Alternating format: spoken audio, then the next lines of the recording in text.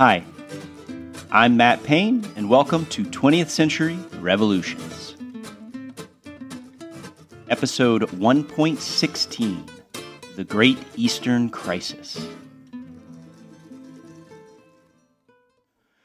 When the Bulgarian Revolutionary Central Committee launched their uprising in April of 1876, none of the rebels could have predicted the sheer magnitude of the public outcry witnessed throughout Europe in support of the cause of Bulgarian liberation. If they had lived to see the summer of 1876, the heroes and martyrs of the Bulgarian struggle, people like Georgy Rakovsky, Vasil Levski, and Hristo Botev, would not have even dared to dream that they might be able to spark such widespread public support for the Bulgarians throughout Great Britain, France, Russia, and even the United States. But as the horrific details of the massacres of Bulgarian civilians at the hands of the Bashi Bazuk began to filter into the Western presses, there emerged a perfect storm of public opinion that was as radically pro Bulgarian as it was anti Ottoman. And as we will see today, just as had happened during the Greek Revolution some 50 years earlier, this turn in Western public opinion will be what ultimately secures the liberation of not only the Bulgarians who will win autonomy and de facto independence, but also the Serbs, the Romanians, and the Montenegrins who will finally win full on internationally recognized de jure independence. So, over the next two episodes, we are going to trace the events of the Great Eastern Crisis, which will lead to the emergence of the independent modern nation states of the Balkans, and which will fundamentally change the nature of the Ottoman Empire. So, as we talked about last week, news of the Bulgarian atrocities set off a firestorm in the European press, especially in Great Britain and Russia. In Great Britain, the liberal politician William Gladstone used the Bulgarian horrors, as he called them, to criticize his political rival, conservative Prime Minister Benjamin Disraeli, and to condemn his government's continued support of the Ottoman Empire. In Russia, the Pan Slav movement began to gain major momentum as figures such as Russian ambassador to Constantinople Count Ignatiev, and author Fyodor Dostoevsky began to bang the war drums as they called for intervention in support of their fellow Slavs, namely the Bulgarians and the Serbs, who were currently the victims of widespread repression at the hands of the Ottomans, who sought to crush the Serbian Herzegovina uprising and the Bulgarian April uprising. This turn in public opinion in Britain and Russia would create a dangerous international situation for the Ottomans, as they became more and more diplomatically isolated on the world stage. Because you may remember from episode 1.11, the Eastern question, and it wouldn't be a terrible idea to re listen to that episode on like 1.5 speed or something, as a lot of what we are about to discuss is coming directly out of that episode. But the Ottomans had since the Crimean War become increasingly dependent on France and most especially Great Britain for both diplomatic and financial support. For decades now, supporting the territorial integrity of the Ottoman Empire had been a centerpiece of British foreign policy because maintaining the Ottoman Empire meant halting the southern expansion of the Russians into Eastern Europe and Western Asia. Well, news of the Bulgarian atrocities turned British public opinion so radically against the Ottomans that anti Ottoman feeling began to drown out anti Russian paranoia within the British press. And though this would not bring the British to go as far as declaring war on the Ottomans, what it would do is so severely weaken diplomatic ties between London and Constantinople that the Ottomans would be left without their strongest ally. And this isolation couldn't have come at a worse time, as Russia was experiencing increasing war fever with more and more public officials and prominent intellectuals beginning to adopt a pan Slavist point of view, which saw Russia as the protector of Slavic Christians still living under Ottoman tyranny. Though, as we saw at the end of last episode, the Tsar still needed to move very carefully because he was at least officially committed to the status quo in the Balkans, as Russia was a member of Otto von Bismarck's League of the Three Emperors, which had divided hegemony over the Balkans between Russia and Austria Hungary. Any move by Russia into the Balkans would be seen by the Austrians as a breach of this agreement because the Austrians strongly opposed Pan Slavism due to the fact that they themselves ruled over a large Slavic population. And Austria did not want the Slavs of their empire to start breaking away because this would further fracture their already fracturing empire. So, in the summer of 1876, as the uprisings in Bulgaria and Bosnia Herzegovina were being ruthlessly crushed, the Russians began to make several moves in preparation for their long awaited war against the Ottomans. And broadly speaking, before launching this war, the Russians wanted to avoid at all costs a repeat of the Crimean War, which had seen the Russians become diplomatically isolated. We already mentioned one of these diplomatic moves last week when we discussed the Reichstadt Agreement, in which the Russian Tsar Alexander and the Austrian Emperor Franz Josef made an informal agreement on what their future Balkan policy would be should a war break out between the Russians and the Ottomans. In this agreement, it was decided that Austria would be allowed to annex Bosnia Herzegovina from the Ottomans in exchange for Russia annexing further Ottoman territory around the Black Sea. And then the other stipulation was that they agreed to not allow the creation of a large Slavic state in the Balkans, whether that be an enlarged Russia or a new Big Serbia or Big Bulgaria. This provision will end up being super duper important because this policy was in direct contradiction to the desires of the Russian Pan-Slavs like Count Ignatiev, who very much wanted to create a large Slavic state in the Balkans, and in fact had been working towards that very goal for years because such a Slavic state was to be placed under the influence of Russia as their powerful Slavic benefactor. So, as we will see, there's going to emerge a separation between Russia's official policy towards the Balkans, which was being broadcasted by Tsar Alexander, and Russia's actual on the ground policy in the Balkans, which was increasingly being driven by the Russian ambassador Count Ignatiev and his fellow Slavophiles. This dynamic in which Ignatiev and the Pan Slavs were kind of improvising their own foreign policy will come to be especially important in the eventual treaty negotiations following this impending Russian Ottoman War in the spring of 1878. But for the time being, in the lead up to this war in the summer of 1876, it was actually most important in Serbia because the Pan Slavs were beginning to send signals to the Serbs that now might be a good time to launch a war against the Ottomans. And you may remember from our episode on the April Uprising that Bulgarian rebels like Hristo Botev and Stefan Stambolov had strongly believed that a war was bound to break out between Serbia and the Ottomans sometime in late 1875 or at the latest early 1876.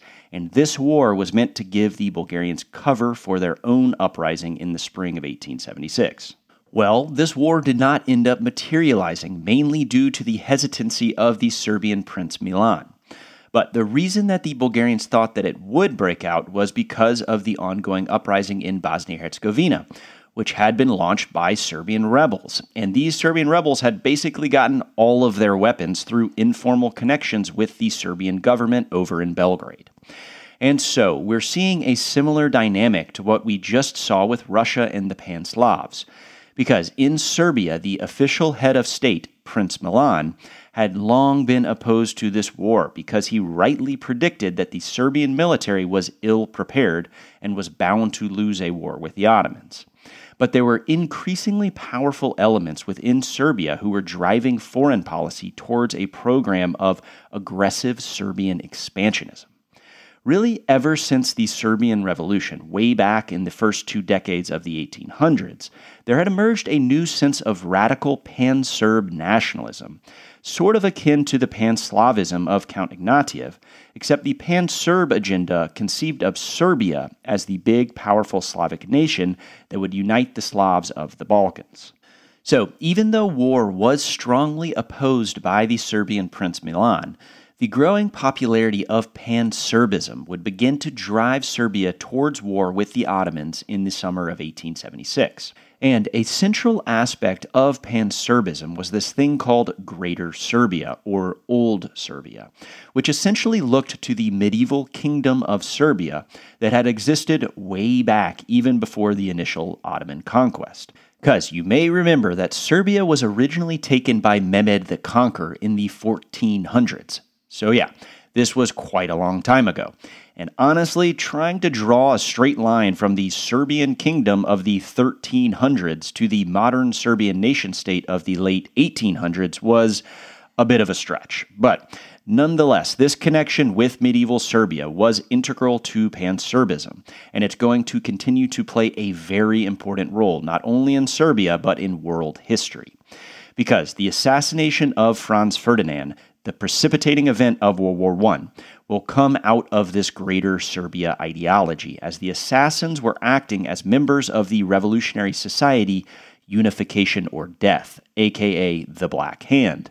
And what unification or death meant was the unification of all South Slavic peoples under the Serbian leadership in Belgrade.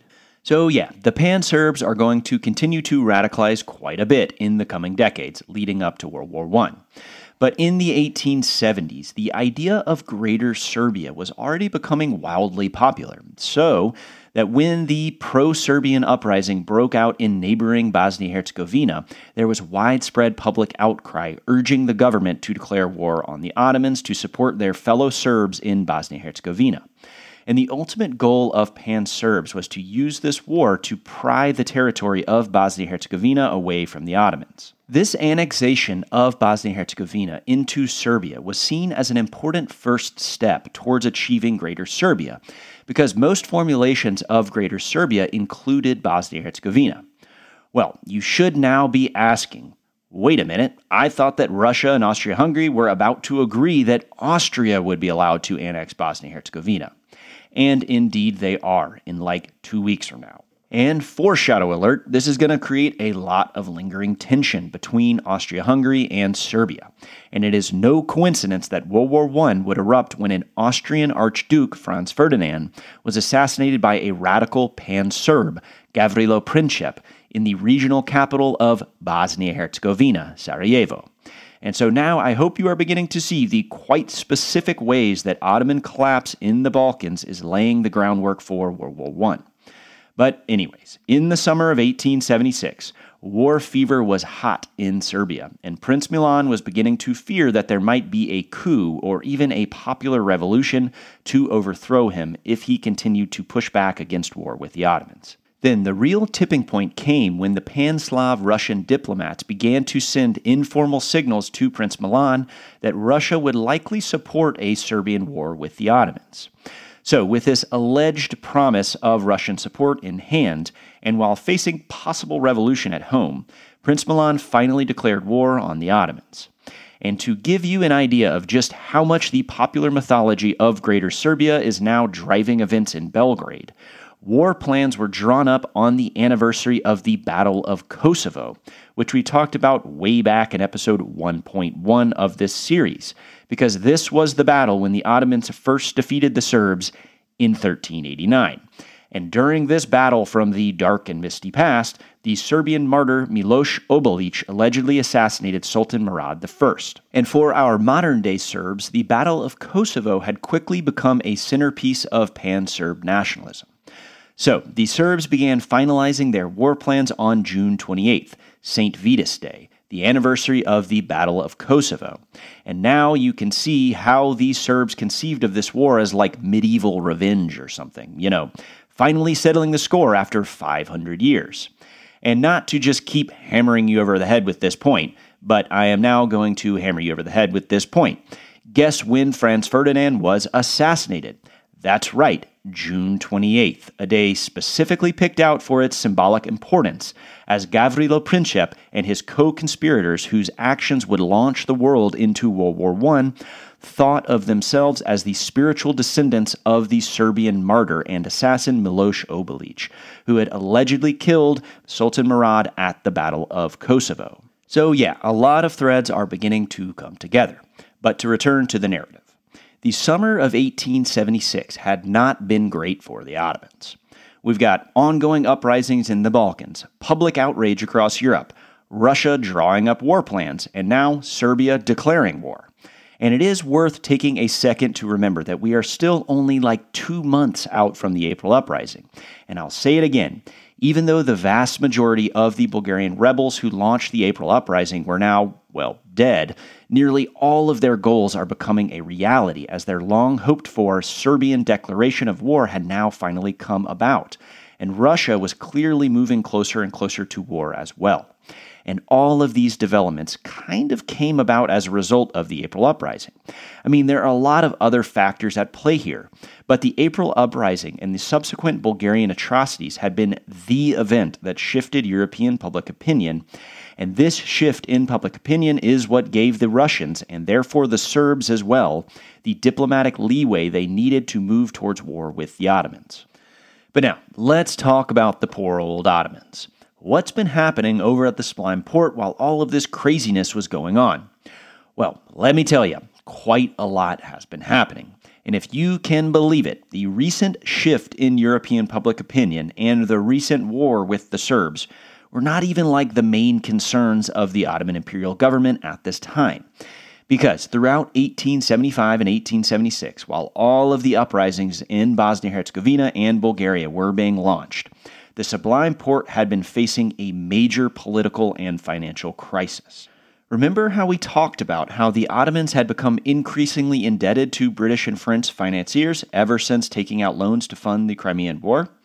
And remember how we said that this debt would balloon to absurd proportions? Well, here we are. This debt has now ballooned to absurd proportions, and the financial situation for the Ottomans has only gotten a cajillion times worse over the 20 years following the Crimean War due to reckless spending on completely unnecessary things like shiny new palaces and expanding the navy and ridiculously high salaries for public officials. Well, all of this profligate spending meant that by 1875, the Ottoman national debt was completely unmanageable, and it was estimated that the Ottomans owed somewhere close to 220 million British pounds, which, all right, but the estimated yearly revenues of the Sublime Porte were around 20 million British pounds. So their debt is now 10 times that of their yearly revenue. So this left almost no room to pay for basic day to day operations because while the Ottomans were busy not paying off their debts, the interest on those debts was skyrocketing. And in the early 1870s, as global economic panics were heightening the financial crisis even further, the Ottomans did not respond by, you know, cutting back on their extravagant expenses, but instead decided to reinstate widespread tax farming. As part of the Tanzimat reforms, the tax farming system had at least been nominally done away with. But then, in the face of financial ruin in the early 1870s, the Ottomans decided that they had no choice but to reintroduce exploitative tax farming. And this reintroduction of tax farming was actually a big reason why rebels in Bosnia Herzegovina and Bulgaria were able to find so many sympathetic recruits for their uprisings in 1875 and 1876. This financial mismanagement finally came to a head in late 1875 when the Ottomans officially defaulted on their public debt and just stopped paying interest on their massive loans. As you might expect, this greatly angered the French and the British, who were the primary financiers of the Ottomans. And when this default was coupled with news of the Bulgarian atrocities six months later, well, as we've said, the British and the French are cooling quite a bit on the Ottomans. The public debt crisis will eventually lead to the creation of the Ottoman Public Debt Administration in 1881. And this administration will eventually employ close to 10,000 people, more people than the actual Ottoman finance ministry. So, the Ottoman Public Debt Administration will basically come to run the finances of the empire. And importantly, this administration will be controlled by Western Europeans. So, European control of Ottoman finances will only become even more pronounced at the end of the 19th century and beginning of the 20th century. But in May of 1876, as this debt crisis was ongoing and as uprisings were becoming more and more widespread in the Balkans, the Ottomans then faced, wait for it, a coup. Yippee! And knowing what's been happening over the past several months, you can probably imagine why there might be a coup. But to put it simply, the current Sultan Abdul Aziz was closely associated with the extravagant spending that had led to the debt crisis. And the reason he was closely associated with the debt crisis was because he had been the one who had built that fancy palace and expanded the navy instead of paying off his interest. So, in the spring of 1876, widespread anti European demonstrations erupted in Constantinople in reaction to the debt default and in reaction to increasing influence of Westerners at the Sublime Porte as a result of this default. As these demonstrations continued to grow in size, a group associated with the young Ottomans began to put together plans for a coup under the leadership of our old friend Midhat Pasha, former Tanzimat governor of Bulgaria and future promulgator of the Constitution. So, Midhat and his young Ottoman comrades began to recruit students from the military academy. Then they went over to the Constantinople military barracks and managed to round up a handful of officers. And this military force then surrounded Sultan Abdul Aziz, who was now trapped in his fancy new palace that he had built using his European loans. And Sultan Abdul Aziz would be deposed in May of 1876 and replaced by his nephew, Murad V. But unfortunately for Murad and for the Ottoman Empire, the new sultan suffered from many mental health issues, which, man, I can't see why a young fella such as Murad would have mental health issues, having grown up as a prince in an empire constantly in a state of crisis. But poor Murad did have mental health issues, and they would quickly get the best of him when the shocking news came that his uncle, the recently deposed Abdul Aziz, had been found dead. Less than a week after being overthrown and while under house arrest, Abdulaziz had asked his captors for a pair of scissors to cut his beard, but he instead used these scissors to slit his wrists and he was found dead on June the 5th. Of course, there are tons of conspiracy theories that claim Abdulaziz was murdered, but it is somewhat widely accepted that he died by suicide. The suicide of his uncle sent the already emotionally fragile Murad into a bit of a tailspin, and he became distant, erratic, and uninterested in his new role as sultan, clearly preferring his old life of quiet aristocratic luxury in which he could freely pursue his passions for music and poetry.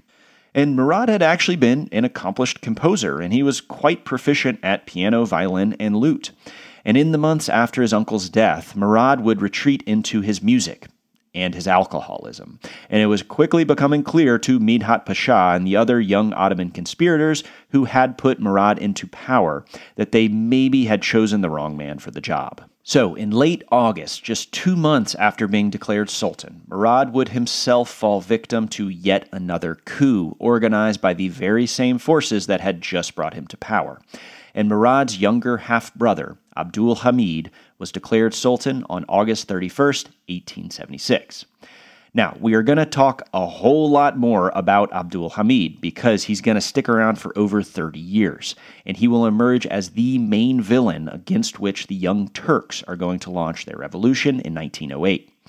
But for the time being, it seemed that the coup of Midhat Pasha and the young Ottomans might actually pay off because, much like his older half brother Murad, Abdul Hamid had come to be associated with the young Ottomans and their western facing approach. Abdul Hamid had traveled throughout Europe as a young man and had impressed European dignitaries and heads of state.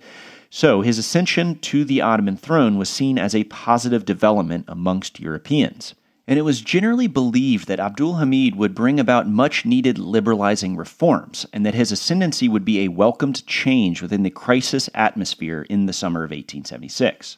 And while the ultimate legacy of Abdul Hamid will be mixed, for the time being he was for the most part being driven by the young Ottomans and their leader Midhat Pasha, and in exchange for helping to put him on the throne, Abdul Hamid had been forced by the young Ottomans to promise that he would promulgate a constitution. So this brings us to the fall of 1876.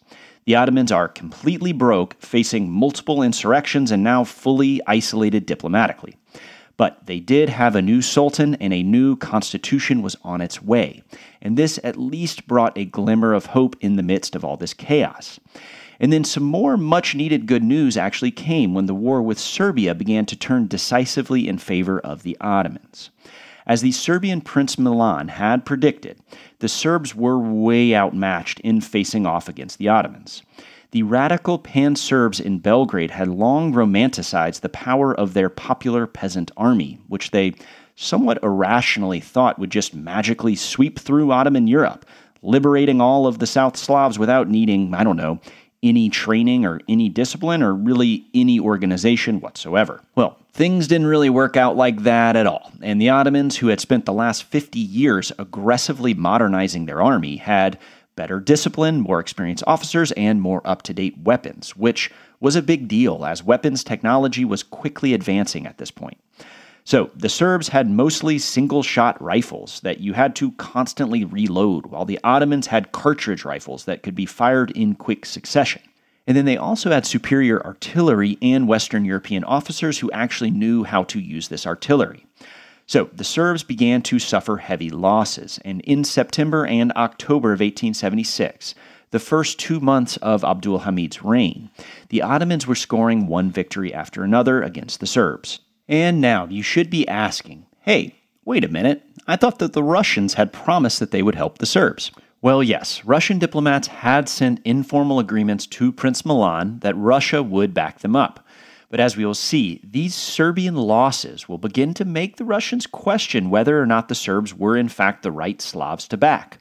And they were beginning to think that maybe they should go with the Bulgarians instead. And this shift in Russian preference from the Serbs to the Bulgarians will take some time, but it is going to be important.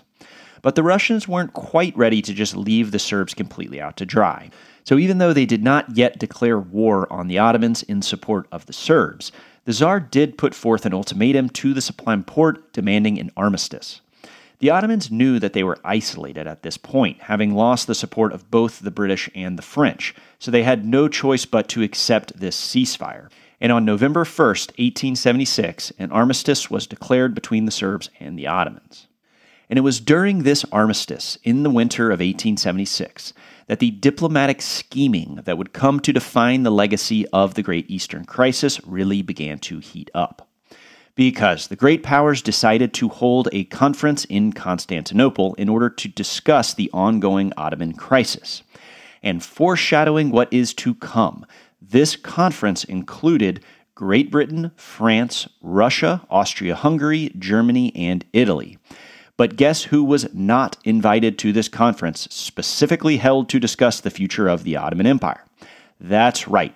The Ottomans themselves would not get the invite to sit at the cool kids' lunch table, even though those cool kids were eating lunch in Constantinople. So, in December of 1876, the great powers met to decide what should be done about the Ottoman Empire, and specifically, they planned to discuss what was going to be done about the Balkans and what the future of Ottoman Europe might look like. Well, as you might expect, the Ottomans were not too pleased about this situation. But since all the great powers were now on board with this Constantinople conference, there was not a whole lot they could do about it for the time being. So instead of trying to prevent the Congress from meeting, the Ottomans decided to preempt the verdict of the great powers. Midhat Pasha, who had recently been appointed Grand Vizier, and the new Sultan Abdul Hamid both knew quite well that the primary focus of the great powers at the Constantinople Conference would be to discuss what reforms they would force upon the Ottomans. I mean, we've seen this same thing play out time and time again, with a crisis in the Balkans precipitated by European anger at the treatment of Christians, leading the great powers to demand reforms meant to help Balkan Christians. The Ottomans knew better than anyone where all this was headed. So on December 23, 1876, while the great powers were meeting just down the street, Midhat Pasha went ahead and promulgated the first Ottoman constitution. And this constitution was really the culmination of Midhat's Ottomanism, and it declared, quote, all the subjects of the empire are without distinction called Ottomans, no matter what religion they profess. And, quote, all the Ottomans enjoy individual liberty on condition of not attacking the liberty of other people. Individual liberty is absolutely inviolable. So, this constitution can be viewed as sort of the culmination of the Tanzimat, as it is enshrining the belief in the equality of all Ottoman citizens, regardless of their ethnic heritage or religious affiliation. And Midhat and company would follow up on these promises in ways that previous Tanzimat reformers had not. As part of this constitution, an Ottoman parliament was established, and this parliament included a chamber of deputies whose members would be elected by a popular vote. Now, there is still a long way to go here, as the electorate was limited to males, so there goes half the population, who also had to meet certain financial requirements. So, this is not democracy, but it is injecting a healthy dose of popular government into the Ottoman imperial system that had been ruled as a bureaucratic autocracy for centuries. And perhaps most importantly, non Muslims were invited to participate in this Ottoman parliament, and its members would include Greeks, Bulgarians, Armenians, Jews, and so on. But while this new constitution was in many ways the culmination of liberal reform within the framework of Midhat Pasha's Ottomanism, there were a few very important clauses in the Constitution that would signal that Abdul Hamid did not intend to have his powers limited in the fashion of a European style constitutional monarch. Because the Constitution went out of its way to establish that ultimate sovereignty lay with the Sultan and did not derive from the people. So, this was a document handed down from the Sultan to his subjects, in which the Sultan was allowing his subjects to participate in government. And then finally, the new Constitution quite tellingly had as its very first article, quote, the Ottoman Empire forms an indivisible whole from which no part can ever be detached for any motive whatsoever. Within the context of the Constantinople Conference that was being held down the street, it was pretty obvious what this was referring to. Midhat Pasha and Sultan Abdul Hamid knew that the great powers were discussing how to best go about partitioning Ottoman Europe. So, what the promulgation of the Constitution amidst the Congress amounted to was the Ottomans trying to get ahead of European demands so that they could announce reforms on their own terms. They knew that the Europeans would use the mistreatment of Ottoman Christians as an excuse to intervene and potentially annex large amounts of territory in the Balkans. So the Ottomans are basically saying, hey, look, we finally did it. A new constitution that ensures the civil liberties of Christian minorities and offers Christians a voice in government. Now you don't have to intervene anymore. Phew. Glad we figured that out.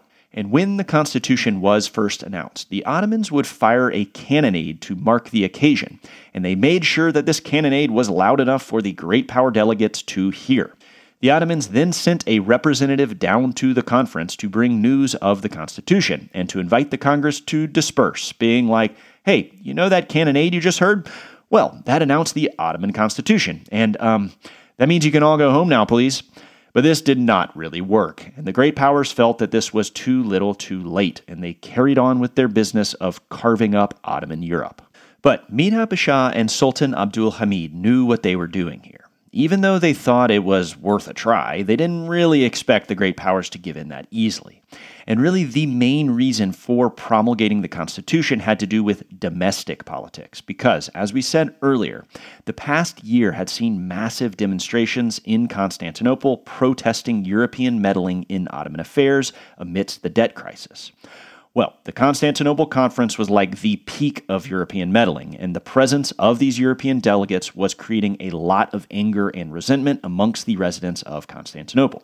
And now that this new liberal constitution had been announced, this resentment even extended to many Ottoman Christians and Jews, especially in Constantinople, as many Greeks, Bulgarians, Armenians, and Jews were getting excited about the prospect of participating in a popular government. And with this resentment of European meddling growing, the overwhelming response to the promulgation of the Constitution was euphoria, as Ottomans of all stripes saw this as the dawning of a new day and there was this brief moment of unity within the Ottoman Empire.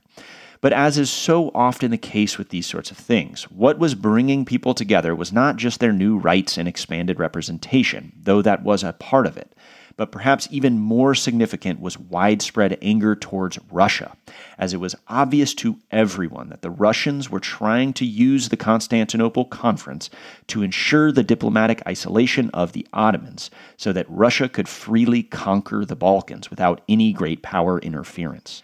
And indeed, this is exactly what the Russian diplomats were doing, as they were following the lead of Count Ignatieff, who had always wanted to conquer the Balkans and had in fact made it a centerpiece of his career as a foreign ambassador. And during the course of the Constantinople Conference, Count Ignatieff had been putting on the charm offensive with the British delegate Lord Salisbury. And this charm offensive worked as Salisbury quickly began to veer away from the official British policy of neutrality under Prime Minister Disraeli, and his negotiations began to be much more in line with the radically anti Ottoman William Gladstone. And so, the representatives of arguably the two most powerful nations involved, Ignatieff, the Russian pan Slav, and Salisbury, the Englishman now under Ignatieff's spell, began to drive the direction of the conference. So, on January 20th, 1877, after a month of deliberation, the conference announced its decisions. First, they decided that Bosnia Herzegovina would be made into an autonomous province similar to Serbia and Romania. But a sub agreement here was that Austria Hungary would be given hegemony over Bosnia Herzegovina, and the territory would only nominally be under Ottoman suzerainty. Second, the conference decided to split Bulgaria into two separate autonomous provinces. Eastern Bulgaria and Western Bulgaria. And these two provinces were to be occupied by an international gendarme police force meant to maintain order. And the assumption here was that Russia would assume a degree of influence over one or both of these Bulgarian provinces, with Ottoman control again only being a nominal suzerainty. So, this was the humiliating culmination to what had been a long, humiliating process. And with anti Ottoman feelings swelling in the capital, the Ottomans could not accept these terms and still expect to retain any sort of legitimacy at home and so they did not accept the terms, and Midhat Pasha formally rejected the decisions of the conference just days after they were presented to him and the Sultan. And with widespread anger at the heavy handedness of the Russian diplomats surging through Constantinople, and with pan Slavic anti Ottoman patriotism gripping Moscow and St. Petersburg, the leaders of both empires knew that this would mean war. And so, on April 24, 1877, almost exactly one year after the Bulgarians had launched the April Uprising, Russia declared war on the Ottoman Empire. This Russian intervention had been what nearly all of the Balkan rebels, whether Serbian or Bulgarian, had always been aiming at. And next week, we will see why, as the Russians will finally embark on their long awaited conquest of European Turkey, and they will make it all the way to Constantinople. But what would ultimately happen once the Russians reached the gates of the old Byzantine capital, their hallowed Tsargrad, future capital of their long dreamed for greater Orthodox Slavic Empire, still remained to be seen. Because, boy, let me tell you, the other great powers are going to have quite a few feelings about this gigantic Slavic empire under Russian tutelage and it's going to be a bit too much for the old Brits as the spirit of the great game will rear its ugly head one last time, and British public opinion will go back to its tried and true anti Russian paranoia. And so the British and the Russians will once again use the territorial integrity of the Ottoman Empire as a proxy for their imperial rivalry. And ultimately, it will be this imperial scheming that will once again dictate the future course of Balkan liberation.